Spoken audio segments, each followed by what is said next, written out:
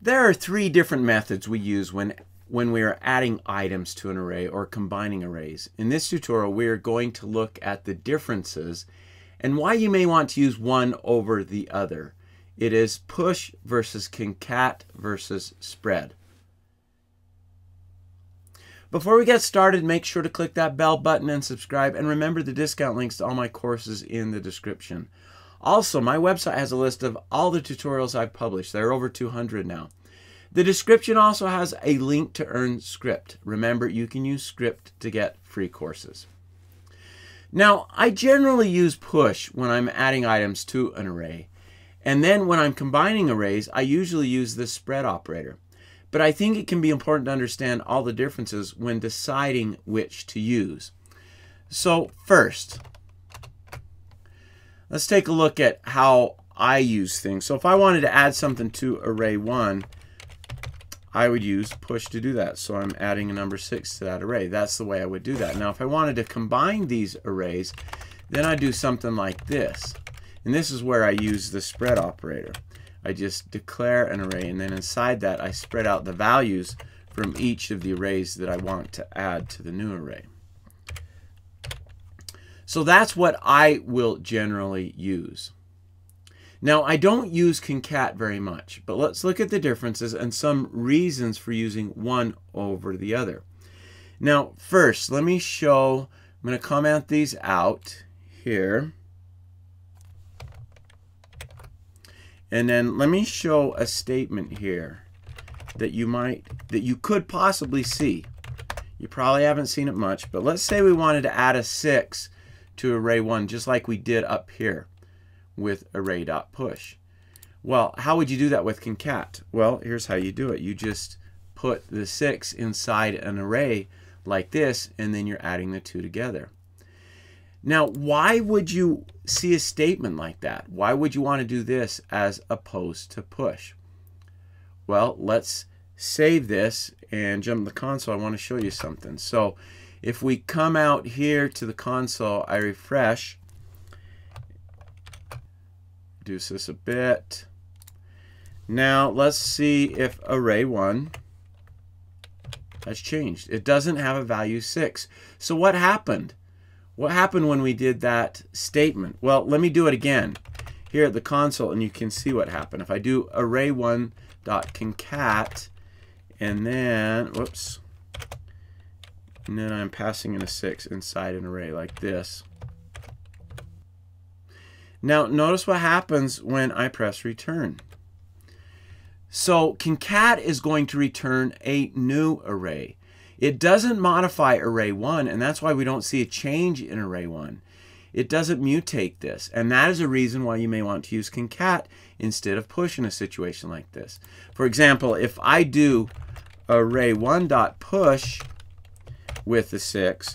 What that is going to return is the new length of the array, where concat returns a new array. So we would want to set it up so we're doing assigning it to a new array, something like this.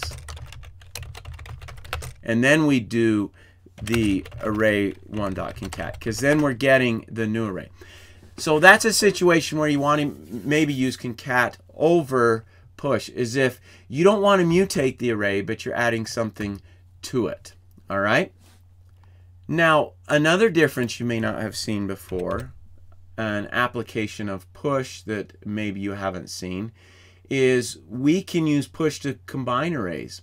This is how I usually do it right here, which is what I showed. But push can be used to combine arrays as well. Now, the trick is you have to use it with the spread operator, but it works. So it would be something like this, array1 dot push, and what we're doing is we're combining array 2 into array 1. And so we would spread out array 2 like that, and that would combine the two of those together. All right. So really, we have three ways to combine arrays. Let me put the other two right here. And let me do it this way. Let me assign these two a variable. So let's go other one.